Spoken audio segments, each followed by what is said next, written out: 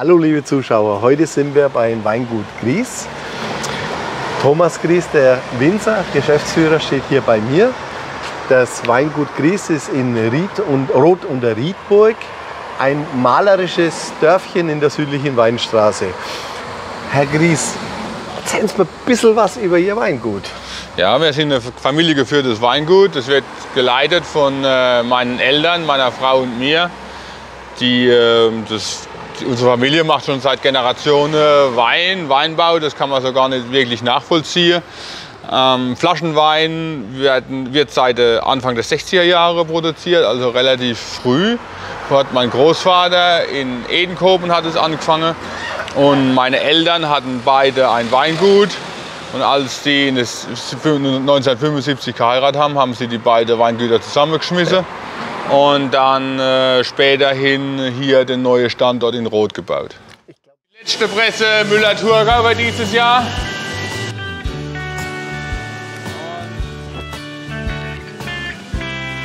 Jetzt werden wir sehen, die dreht jetzt einer unter die Presse und dann sieht man, unten der Saft rauskommt.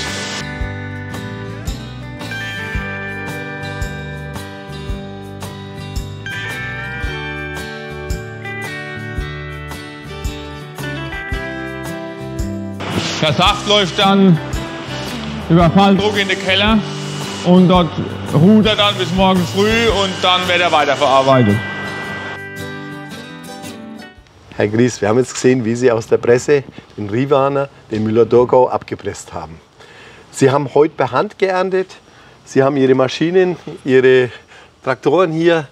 Also wir ernten äh, immer noch sehr viel von Hand, wobei wir hauptsächlich negative Vorlese machen. Das heißt, wir gehen zu Beginn von der Ernte durch ja. und lesen einen Teil äh, von der Traube raus. Mhm. Die, und ähm, bei dem Arbeitsgang machen wir gleichzeitig die Blätter um die verbleibende Traube weg. Und so kann der Rebstock sich um diese wenigen verbleibende Traube intensiv kümmern sozusagen. Jawohl. Dadurch, dass die Blätter fehlen, ähm, zieht schön der Wind durch die, äh, durch die Anlage, die Sonne scheint schön drauf. Das heißt, die Traube, wenn es mal regnet, trocknen sehr schnell ab. Mhm. Und so können wir diese wenigen verbleibende Traube sehr, sehr lange hängen lassen, bis mhm. sie optimal gereift sind. Und dann können sie in kürzester Zeit mit dem Vollernter gelesen werden. Mhm. Das heißt, Sie tun auch die, die Trauben etwas reduzieren, damit die Qualität besser wird. Nicht genau. nur die Blätter weg, sondern auch. Ja, also wir ernten ein Drittel bis die Hälfte von der Traube gleich raus. Mhm. Für die, das gibt dann die einfache Weine mhm. und äh, für die Premium-Sache, die bleiben dann, die bleiben dann hängen. Mhm. Okay, super. Wir wollen ja nachher ein bisschen was über den äh, Grauburgunder noch äh, erfahren. Sind die schon geerntet? Oder? Die Grauburgunder sind auch nur, auch, äh, nur größtenteils geerntet. Also wir haben jetzt die, äh, wir haben die Grauburgunder in drei Klassifikationen. Äh, Brillant, äh, Komplex und äh, als Individualist. Und äh, der Brillant und Komplex ist bereits geerntet und die, die, die höchste Qualität die wird so in den nächsten Tagen dann geerntet. Ja, das ist jetzt mein Reich. Also ich bin hier der Kellermeister im Betrieb. Wir bauen die Weine sehr ausdrucksstark, ähm, sortentypisch aus. Also für mich ist wichtig, dass der Wein äh, nach der Traube schmeckt, als der produziert wird. Ja. Und wir versuchen, die Weine so naturnah wie möglich an- und auszubauen und produzieren eigentlich die Weine auch schon immer vegan. Mhm. Seit einigen Jahren haben wir das auch auf dem Etikett stehen, wobei wir die Weine schon, schon so lange vegan produzieren, da kannte ich den Ausdruck eigentlich noch gar nicht. Ja. Okay, was heißt jetzt vegan? Was ist, was ist, das, was ist da anders zu einem normalen Wein?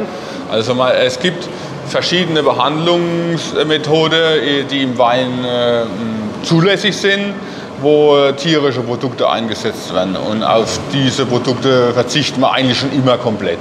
Also da sehe ich überhaupt keinen, für mich überhaupt keinen Sinn drin. Ja. Wo braucht man das jetzt zum Beispiel? Oder was zur, äh, man kann äh, das zur Klärung nutzen, dass die Weine sich besser klären.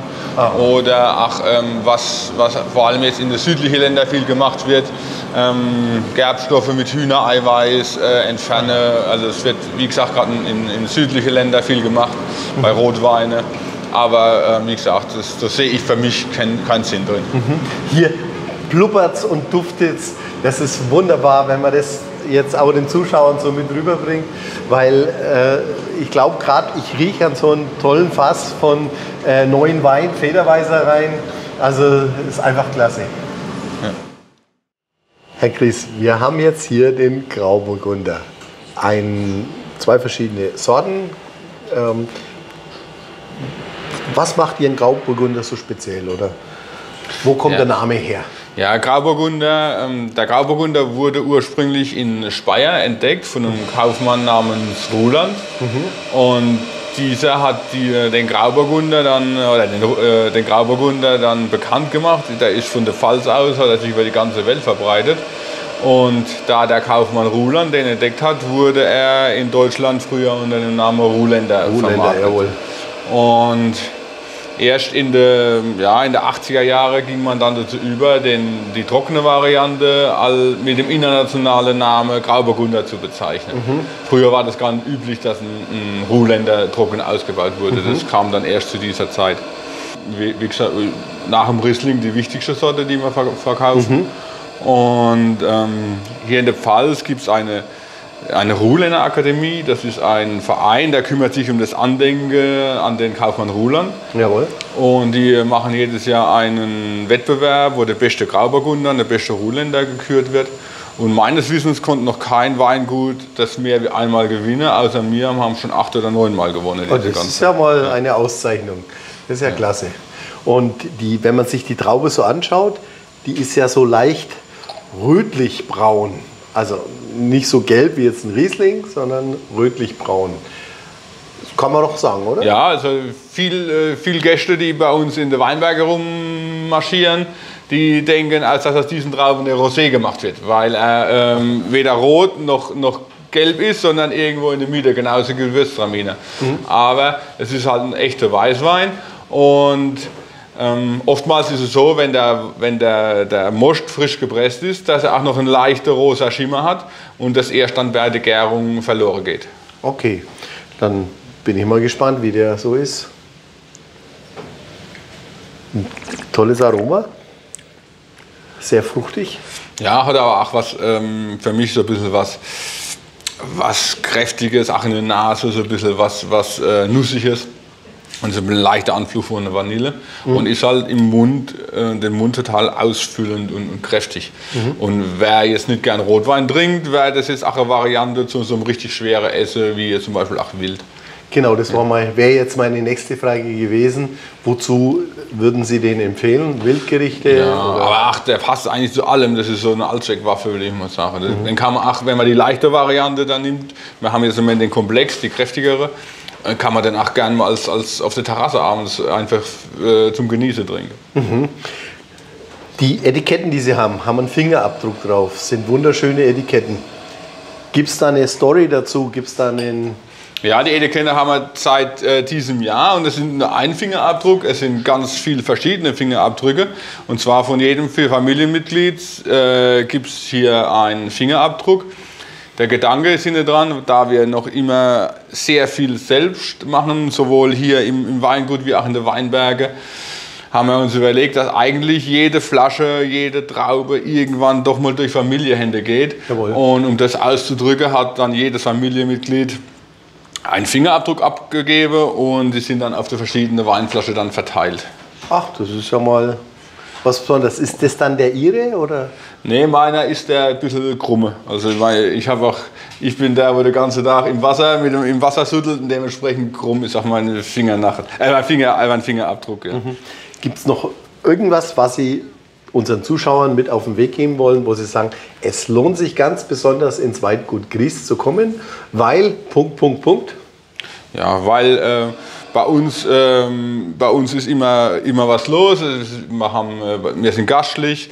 Wir haben in der, in der Sommermonate bzw. in Herbstmonate ist der Hof geöffnet mit dem Ausschank und ähm, mit dem, mit dem äh, Caterer. Caterer, wo Germane Spießen, Pfälzer Spezialitäten macht. Mhm. Und dann haben wir noch eine Weinstube, die alte Schmiede, mhm. wo direkt nebenan ist.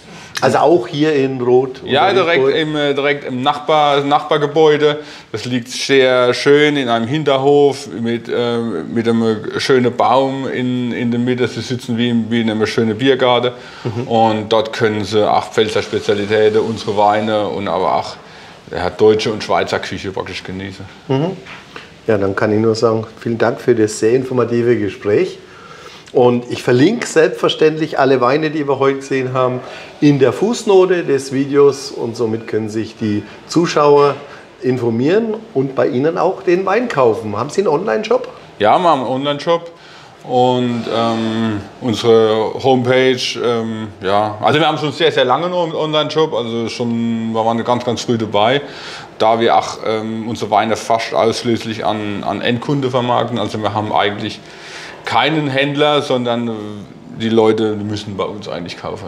Ja, ja das ist ja gut. Ne? Und das, das, tun sie ja auch. Man ja. sieht ja auch, wie voll das Weingut ist, wenn man reinkommt. Und trotz Corona-Zeit, was ja eine schwierige Zeit am Anfang mit Sicherheit für Sie als Winzer auch war, oder? Ja, es war eigentlich mehr ein, ein Schock, wie dann letztes Jahr auf einmal alles zugemacht wurde und wir hatten schon unsere ganze Weine abgefüllt. Dann hatten wir schon Angst, was, was passiert mit dem ganzen Wein, wo jetzt im Lager ist und äh, die Leute kommen nicht mehr raus. Und im Endeffekt war es dann so, dass äh, mit dem ersten Lockdown bei uns die Bestellungen reinkamen und wir, wir kamen gar nicht mehr hinterher mit, mit dem Versenden. Und im Endeffekt haben wir letztes Jahr mehr Wein verbraucht wie, wie, wie jemals zuvor. Das, unsere, unsere, unsere unsere Kunden waren halt zu Hause und haben sich zu Hause gut gelassen und haben sich den Wein halt äh, schicken lassen. Ja. Also das kann ich verstehen. Bei dem Wein lässt man sich gerne gut gehen. So, das sind jetzt ganz liebe Gäste vom Weingut Gries. Sind Sie das erste Mal hier? Nein. Nein. Wir Nein. sind nicht das erste Mal hier. Und schmeckt der Wein? Kann man den empfehlen? Ja, wir sind registrierte Kunden hier und wir kaufen jedes Jahr, wir ordern jedes Jahr hier, wir lassen uns das nach Hause kommen, den Wein. Wir kommen aus dem Siegerland mhm. und äh, schon seit einigen Jahren lassen wir uns den Wein nach Hause bringen.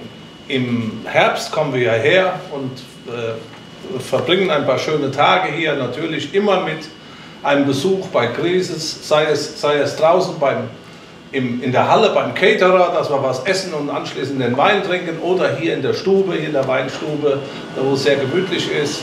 Und wir fühlen uns immer sehr wohl. Die Gastlichkeit der Familie, der Familie Gries kommt uns immer zugegen und es ist immer sehr schön hier. Also ein besseres Lob kann ein Winzer hier gar nicht kriegen. Ne? Nein, kann man. Das muss man wirklich, können wir mit Fug und Recht behaupten. Das ist so.